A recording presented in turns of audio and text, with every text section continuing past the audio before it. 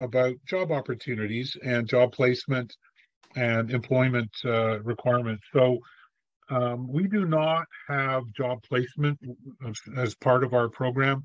Um, we're just instead we have students all over North America. That that would not be possible for us to do with students scattered all about.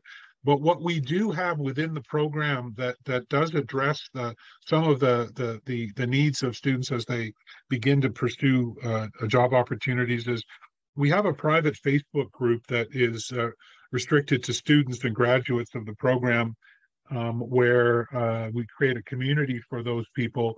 But within that community, we also um, gather job postings from a wide range of, of jurisdictions and um, uh, related uh, uh, job areas for someone who was a gra- would be a, would be eventually a graduate of the program. So we do try and gather up those opportunities as we can. We post them in the private Facebook group to make them available to uh, all of our students and graduates to continue develop their their their, their programs or sorry their their careers.